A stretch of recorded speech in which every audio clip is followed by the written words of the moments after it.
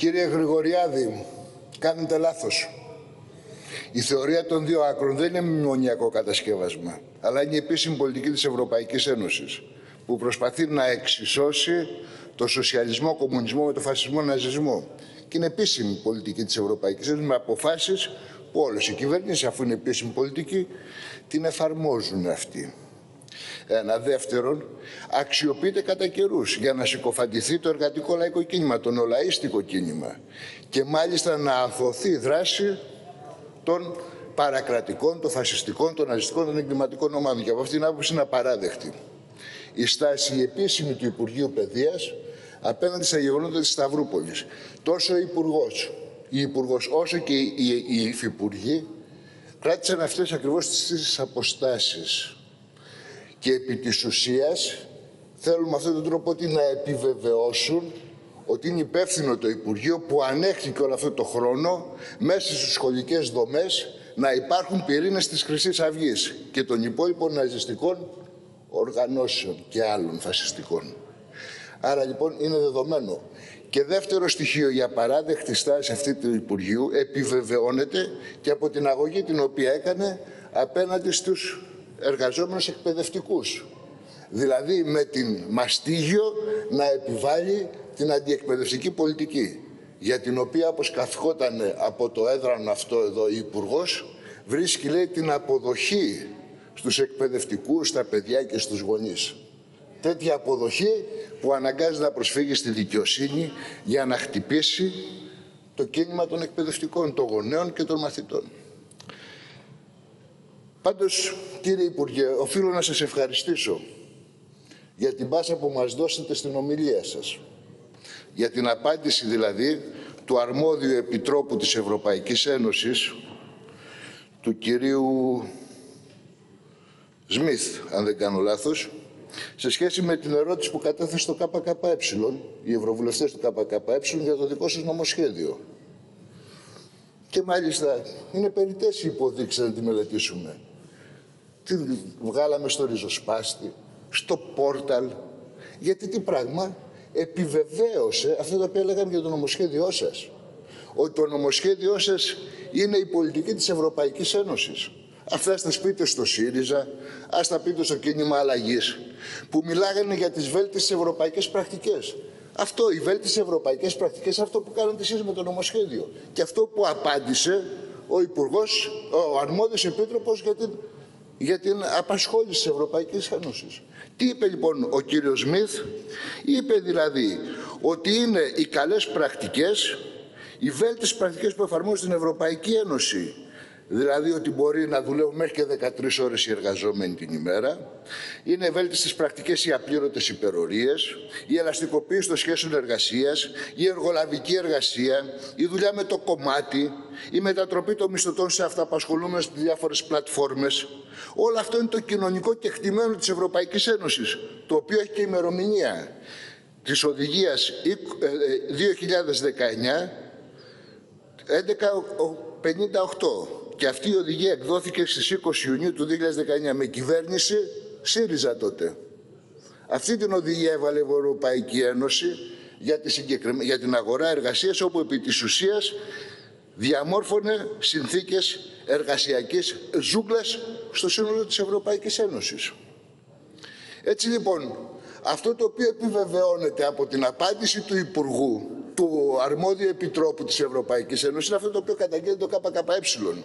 Ότι η Ευρωπαϊκή Ένωση με τις πολιτικές της αποτελεί την προκρούστια κλίνη των εργατικών δικαιωμάτων. Έτσι λοιπόν οποιαδήποτε κυβέρνηση και αν έρθει είναι, θα εφαρμόσει αυτές τις ευρωπαϊκές πολιτικές απέναντι στους εργαζόμενους. Γι' αυτό λέμε ως ΚΚΕ ότι το πρόγραμμα της επόμενης κυβέρνησης οποιαδήποτε και αν είναι αυτή, είτε κέντρο αριστερή είτε κέντρο δεξιά, θα εφαρμόσει αυτές τις βέλτιστες αντεργατικές πρακτικές Ευρωπαϊκής Ένωσης. Γιατί, γιατί το επιβάλλει η ανταγωνιστικότητα της, των επιχειρηματικών ομήρων που συνθρίβουν τα εργασιακά δικαιώματα, το επιβάλλει η μεγέθυνση της καπιταλιστικής κερδοφορίας που θυσιάζει την ικανοποίηση των λαϊκών αναγκών στο βωμό αυτό. Γι' αυτό άλλωστε και διευρύνεται σε παγκόσμιο επίπεδο η ψαλίδα ανάμεσα στην παραγωγή του πλούτου, ανάμεσα στις δυνατότητες και στο επίπεδο ικανοποίησης των λαϊκών αναγκών. Γι' αυτό διευρύνονται οι κοινωνικές ανισότητες παντού. Γιατί ακριβώς αυτή είναι η σιδερένια φτέρνα του καπιταλισμού και αυτό ακριβώς νομοθετείται. Νομοθετείται δηλαδή, ανεξάρτητα ποιο κόμμα είναι, τις ανάγκες των επιχειρηματικών ομήλων σε βάρος των εργαζόμενων και την ικανοποίηση. Δεύτερο ζήτημα, κύριε Υπουργέ. Μιλήσατε για τους εργαζόμενους στην πλατφόρμα σε σχέση με την e-food. Αλλά εδώ πέρα έχουμε και το εξής και ο ΣΥΡΙΖΑ που καταθέτει συγκεκριμένη τροπολογία. Και είπατε τι έκανε ως κυβέρνηση ο ΣΥΡΙΖΑ. Εμείς θα πούμε τι κάνει σήμερα, που δεν είναι κυβέρνηση. Νέα Δημοκρατία, ΣΥΡΙΖΑ, κίνημα αλλαγής και ελληνική λύση. Στο Ευρωπαϊκό Κοινοβούλιο τι κάνανε. Δεν είναι κυβέρνηση. Τι δεχτήκανε, δεχτήκανε μια κατάπτυστη έκθεση του Ευρωπαϊκού Κοινοβουλίου για τους εργαζόμενους στις πλατφόρμες. Που λέει τι αυτή η κατάπτυστη έκθεση, λέει το εξής.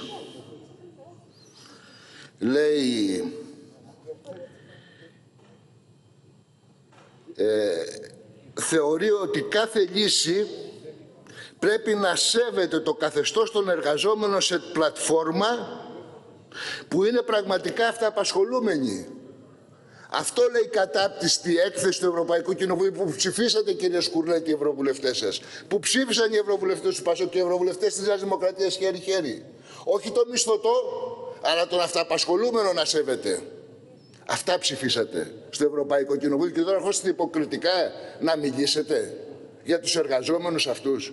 Και πρέπει αν είναι μισθωτός να καταφύγει στο δικαστήριο για να αποδείξει τη μισθωτή σχέση με τη συγκεκριμένη πλατφόρμα.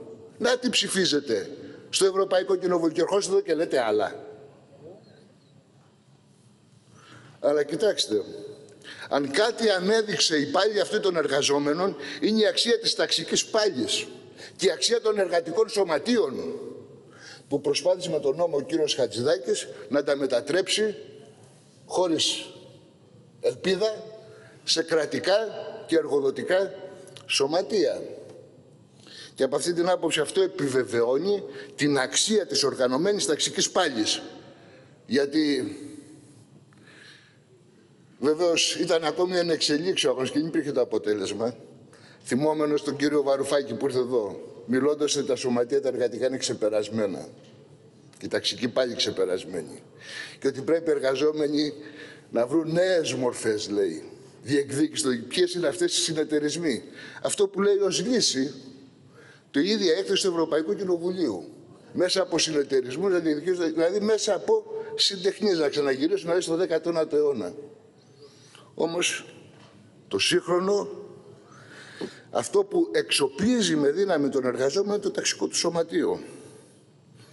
Και είπατε κύριε Υπουργέ, ότι ένα παρόμοιο νόμο παρεμφερεί το έκανε η Ισπανία. Αλλά φεύγουν από εκεί οι επιχειρήσεις. Με αυτή την απειλή, με αυτή την απειλή προσπαθείτε να καθυποτάξετε τους εργαζόμενους και εδώ και παντού ότι άμα διεκδικήσετε δικαιώματα θα κλείσουν οι επιχειρήσεις. Αυτή είναι η απειλή με την οποία προσπαθείτε να τσακίσετε τα δικαιώματα των εργαζόμενων.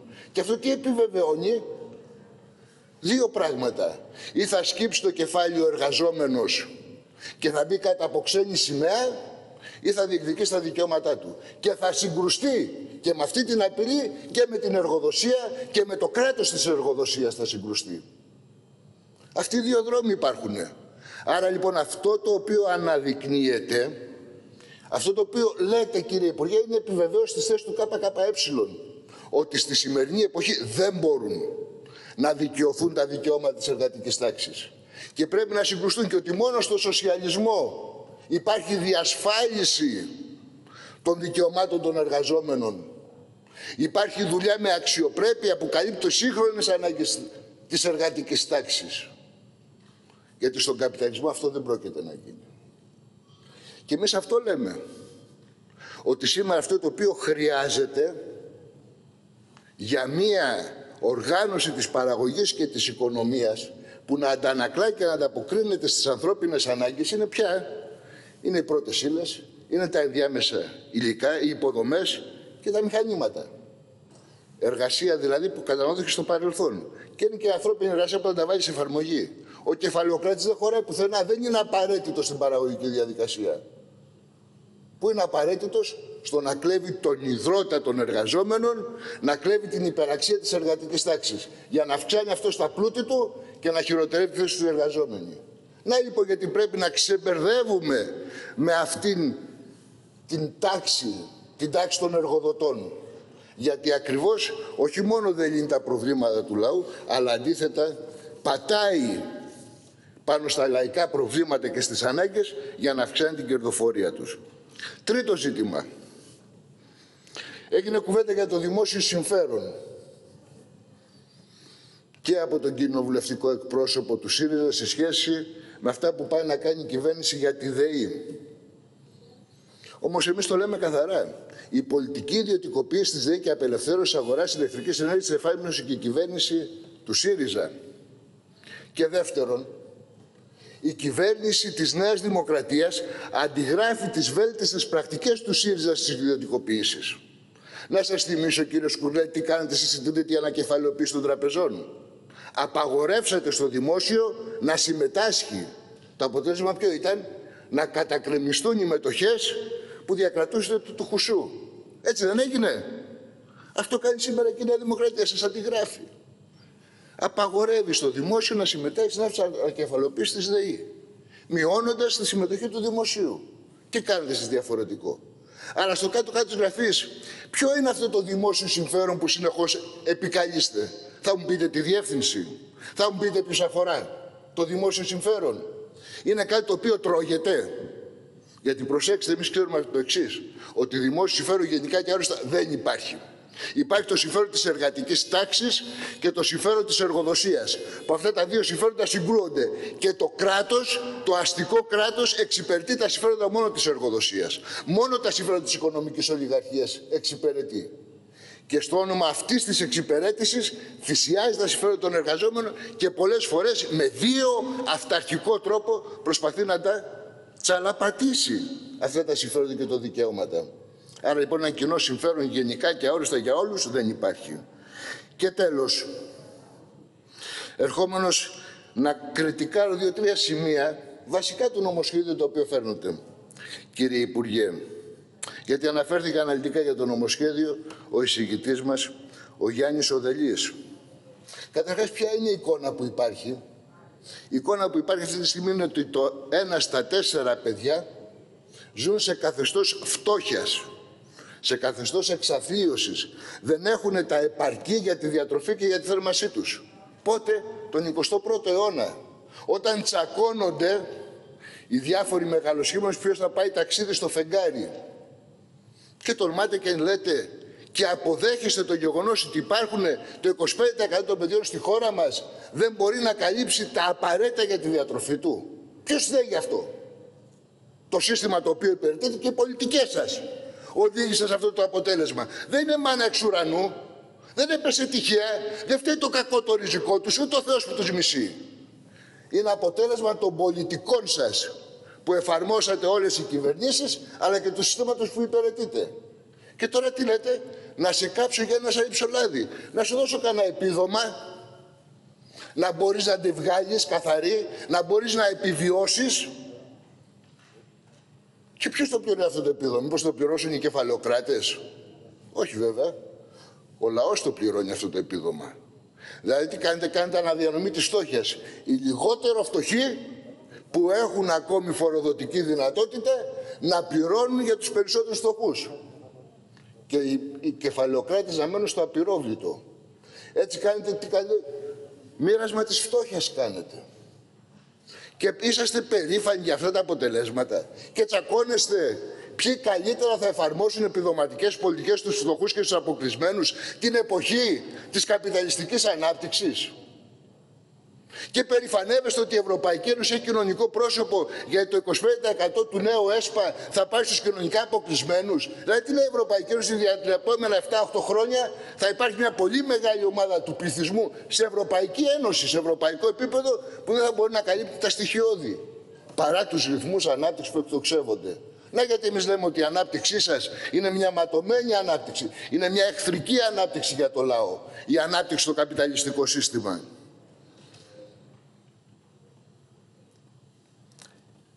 Και αντί να διαμορφωθεί ένα τέτοιο πλαίσιο ευρύτατο βρεφονιπιακών σταθμών που να καλύπτει τις ανάγκες όλων των παιδιών με δημόσια ευθύνη, όχι με πληρωμή, που σήμερα και τα δημόσια αλλά και τα ιδιωτική βρεφονιπιακή σταθμοί εξυπηρετούν μόνο το 50% των βρεφών και των νηπιών. Τα υπόλοιπα δεν μπορούν να πάνε, δεν έχουν τη δυνατότητα να πάνε, δεν υπάρχει στον τόπο τους να πάνε. Εσείς τι βρήκατε, να λύσετε αυτό το πρόβλημα τις δαντάδες της γειτονιάς, σαπουνόπουρα, σαπουνόπερα. Μπαμπάδες εν δράση μου θυμίζει την τηλεοπτική σειρά. Δεν ξέρω αν την ξέρετε. Δηλαδή έτσι θα λύσετε το ζήτημα. Με τέτοιο τρόπο.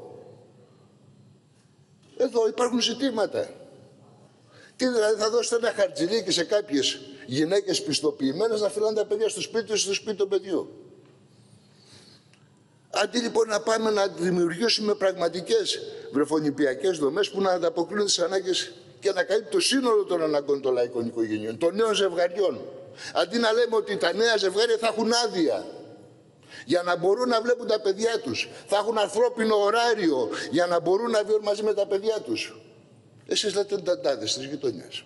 Και το λύσατε το πρόβλημα με αυτό το ψευτοχαρτζηλίκι. Και τέλος, είναι αυτή η λογική της αποασυλοποίησης. Είπατε κύριε Υπουργέ στην ομιλία σας που σας παρακολούθησα, ότι ποιος θέλει να μένει σε άσυλο; Καταρχάς ένα άσυλο που δεν του προσφέρει τα απαραίτητα κανείς δεν θέλει. Και εμείς δεν υπερασπιζόμαστε τα άσυλα αυτά τα οποία πραγματικά δεν μπορούν να δώσουν τα απαραίτητα και ό,τι έχει ανάγκη ένα παιδί. Και έρχεστε και λέτε ότι στη θέση αυτή εσείς θα το λύσετε το πρόβλημα με, με την αποασυλοποίηση. Διώχνοντας τα παιδιά από τα άσυλα από 15 μέχρι 17 χρονών για να πάνε πού λέτε σε κατοικίες. Και να γίνει τι να γίνει, να μπορούν να έχουν υπηρεσίες ενδυνάμωσης, ενίσχυση των, των δεξιοτήτων και της επαγγελματικής καθοδήγησης, οι οποίες δύναται να περιλαμβάνουν μεταξύ των άλλων ανάπτυξη δεξιοτήτων, εργασιακή, συμβουλευτική και διασύνδεση με την αγορά εργασίας. Μα ένα παιδί 15-17 χρόνια θέλει να πάει να μάθει. Θέλει να πάει στο σχολείο. Το βγάζετε βία και του λέτε το μέλλον σου είναι μόνο να αποκτήσει δεξιότητες και εργασιακή εμπειρία. Γι' αυτό και υπογράψατε την κατάπτυξη στρίβαση με το ξενοδοχειακό επιμελητήριο. Να μπορούν αυτά τα παιδιά να πηγαίνουν ως μαθητεία, υποτίθεται, που ξέρουν πολύ καλά ότι δεν υπάρχει μαθητεία στα ξενοδοχεία. Ξέρουν πολύ καλά ότι δουλεύουν κάτω από, από απάνθρωπες συνθήκες εργασίας και ακόμη και αυτοί που λένε ως μαθητεία, αλλά βρίσκουν έτσι φτηνή τζάμπα εργατική δύναμη, όλες, όλα τα καθεστώτα μαθητείας στα ξενοδοχεία αυτό ήταν και θα σπρώχνετε εκεί. Μα αυτό είναι απαράδεκτα. Γι' αυτό ακριβώς και το ΚΚΕ λέει ότι παρόλες τις προσπάθειες να λιάνετε ακραίες γωνίες των επιπτώσεων των πολιτικών των οποίων εφαρμόζεται, δεν μπορεί να συμφωνήσει με αυτή την πολιτική. Και λέμε ότι πρέπει αυτό το πράγμα, αυτή η πολιτική, αυτή η κατάσταση να ανατραπεί στην πράξη μέσα από την πάλη του λαού.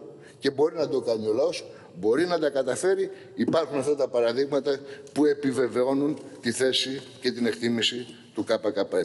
Ευχαριστώ πολύ κύριε Πρόεδρε.